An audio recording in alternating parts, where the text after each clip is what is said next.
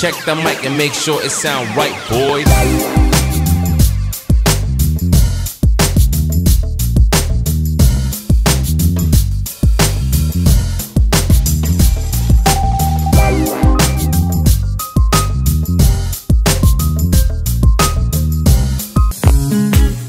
En el mercado tenemos dos tipos de cuchilla. Tenemos las cuchillas tipo A5 universal o las cuchillas tipo A escular.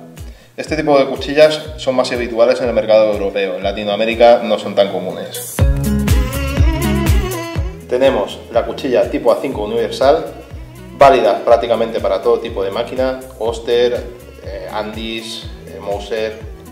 Mm, son cuchillas que son más sensibles a las caídas, se desajustan más fácilmente, pero te dan un acabado más fino. En las máquinas para las cuchillas tipo A5 nos encontramos con una bisagra basculante que para introducir la cuchilla simplemente tenemos que introducir la bisagra dentro del casquillo, poner en marcha la máquina y cerrar.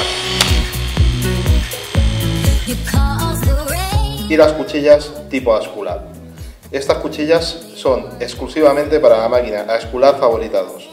Son cuchillas mucho más rudas, consistentes, te dan un acabado más vasto, pero en cambio son cuchillas que aguantan muchísimo más los perros con nudos, los perros que vienen con tierra, incluso las caídas no se desajustan, pero a contrapartida es un acero mucho más frágil a los golpes secos y se rompe con más facilidad. Y las máquinas para cuchillas tipo Asculap llevan, no llevan una bisagra, llevan una placa deslizante, la cual hay que introducir de esta forma plana sobre la cuchilla, apretar el gatillo y ya la tenemos dentro. El hecho de que se nos calienten las cuchillas viene todo relacionado con la velocidad de la máquina y con el estado en que se encuentran las cuchillas. Si tenemos una cuchilla sucia, evidentemente el roce es mucho mayor y se va a calentar mucho más rápido. Y si la máquina funciona también a una velocidad más alta, por el mismo roce también se nos calentará más. Para evitar forzar nuestras máquinas, además de mantener siempre limpias y lubricadas nuestras cuchillas, tenemos que mantener limpios los filtros de las máquinas. Este filtro evita que entre el pelo dentro del motor, el cual hace circular un aire que nos refrigera el motor y nos sale por estas salidas de aquí. Para limpiarla simplemente con el cepillo de dientes frotamos y retiramos el pelo acumulado y así conseguiremos que el caudal de aire se mantenga constante dentro de la máquina.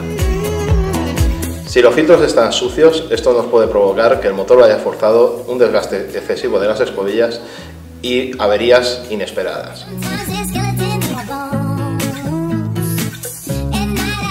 En Raúl Afilados afilamos tijeras, cuchillas y reparamos máquinas y secadores.